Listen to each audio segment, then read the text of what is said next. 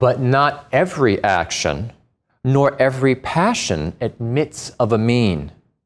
For some have names that already imply badness, for example, spite, shamelessness, envy. And in the case of actions, adultery, theft, murder. For all of these and such like things imply by their names that they are themselves bad, and not the excess or deficiencies of them. It is not possible, he goes on, then ever to be right with regard to them. One must always be wrong. Here is a very, very clear statement of a fundamental point in ethics, a point that has been more controversial than it should be. Aristotle got this right, and it is critical. Some actions are intrinsically, that is, in their very essence, their very nature, what they are, some actions are intrinsically evil. Such actions are, in Aristotle's terminology, already at an extreme.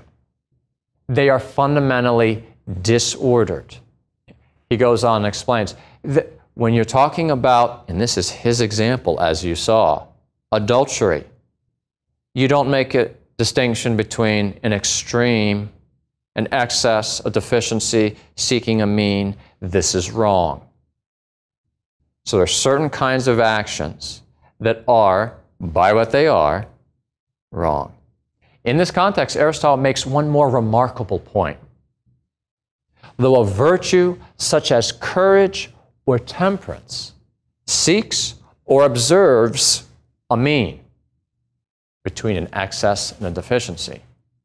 At the same time, the habit itself, the virtue, can be said to be an extreme of goodness. In other words, there's no such thing as too much courage or too much temperance. Virtues are unqualifiedly good. Unqualifiedly good. This is important because that's something that, that there can often be misunderstanding of. When Aristotle says that as regards fear, and again, we're about to look at courage as an example, of fear there can be too much or too little, and courage observes the mean, people can make have the misunderstanding that that means, well, that you could have too much courage or too little courage. No. Courage is the excellence. Courage is at the mean. Never too much courage.